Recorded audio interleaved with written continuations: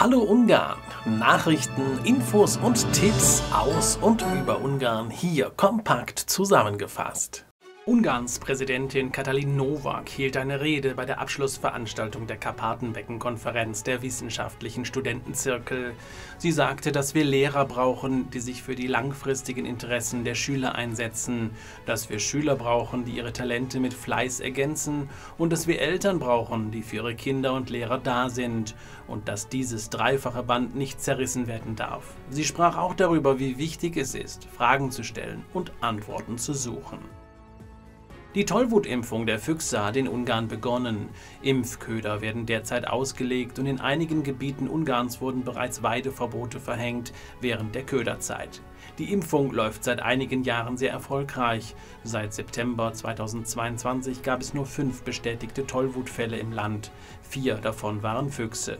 Informationen über die Auslagegebiete erhält man auf der Webseite des Lebensmittelüberwachungsamtes NEBI. Um 11 Uhr wird heute ein landesweiter Sirenenalarm in Ungarn durchgeführt. Die Sirenensignale werden dann einzeln durchgeprobt.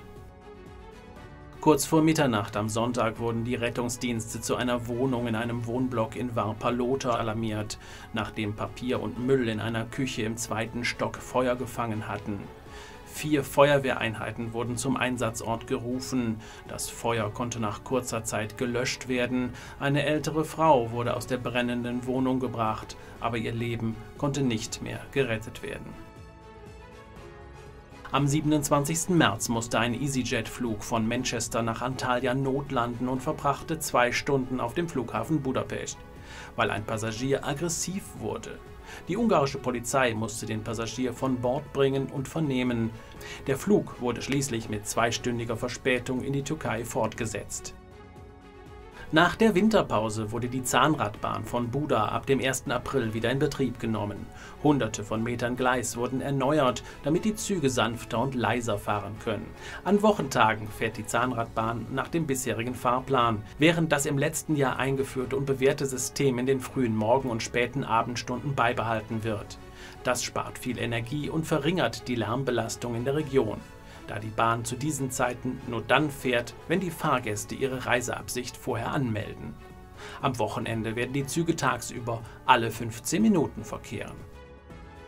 Mit einer großen Prozession und einer Szene, die den Einzug Jesu in Jerusalem darstellt, wurde der Blumensonntag, der Palmsonntag in Debrecen gefeiert. In Debrecen ist es Tradition, den Palmsonntag auf dem Hauptplatz der Stadt groß zu feiern und es ist eine feierliche Eröffnung der Karwoche. Neben der Heiligen Messe und der Prozession wird der Tag mit Volkstänzen und anderen Aktivitäten gefeiert. Balaton hat ein neues Fahrradzentrum. Das ist nun das dritte in der Region und wurde am Samstag in Kestey eingeweiht. Letztes Jahr hat die Organisation Balaton Bike 365 in Balaton Füret und Balaton Völdwa die ersten zwei Fahrradzentren übergeben. Balaton Bike 365 konzentriert sich auf die Entwicklung des Radtourismus in der Balaton-Region. Mit ihrer Hilfe wurden zahlreiche Radwege gebaut und erneuert, Fahrradzentren eingeweiht und viele Programme organisiert.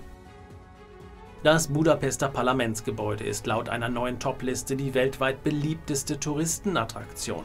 Die Top-10-Liste wurde von den Datenanalysten des in London ansässigen Gepäckaufbewahrungsunternehmens Stasher eingestellt. Sie haben die 99 am häufigsten besuchten Attraktionen der Welt ausgewählt und sie in eine Liste zusammengefasst. Dazu wurden Bewertungen auf TripAdvisor und Google sowie Gästebewertungen auf Booking.com verwendet. Die drei beliebtesten Attraktionen sind die Blaue Lagune, ein Thermalfreibad in Island auf Platz 3, Disneyland Paris auf Platz 2 und das Parlamentsgebäude in Budapest führt die Liste als Top-Attraktion.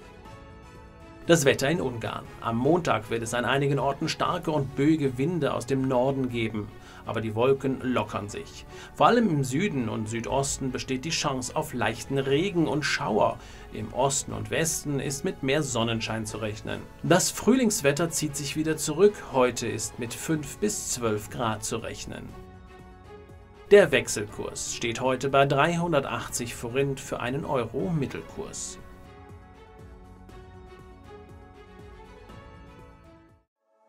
Hallo Ungarn! Nachrichten, Infos und Tipps aus und über Ungarn hier kompakt zusammengefasst.